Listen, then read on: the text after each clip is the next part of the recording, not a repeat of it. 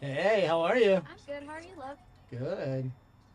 This video is from Operation Better Pathways, a month long investigation to stop human trafficking. They shared the results on Tuesday at San Diego Police Department headquarters. We have heard an unending call for help from some of our neighborhoods who have watched their streets turn into open air sex markets. Operation Better Pathways was led by our county's Human Trafficking Task Force to address complaints of trafficking and exploitation in both San Diego and National City. San Diego Police Chief David Nisleit said it led to the arrest of 48 people. He said they rescued eight children from traffickers. The youngest victim rescued during this operation was 13 years old. She was seen walking the street and waiting for someone to pick her up to buy sex from her.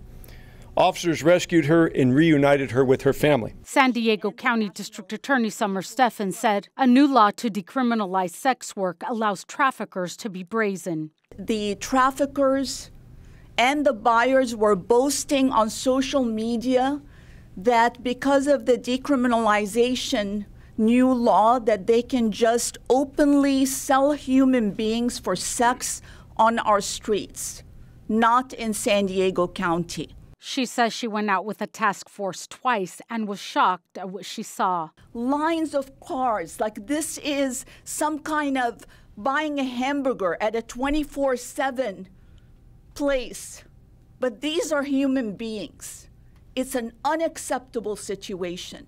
Stephan said everyday people in our community are fueling the multi million dollar industry. These are doctors, lawyers, construction workers, teachers, superintendents that are often out there buying someone, even though they have their own children, their own wives, their own sisters, their mothers, but they're still willing to go out and buy a human being for sex. That is what fuels the $810 million industry of human trafficking.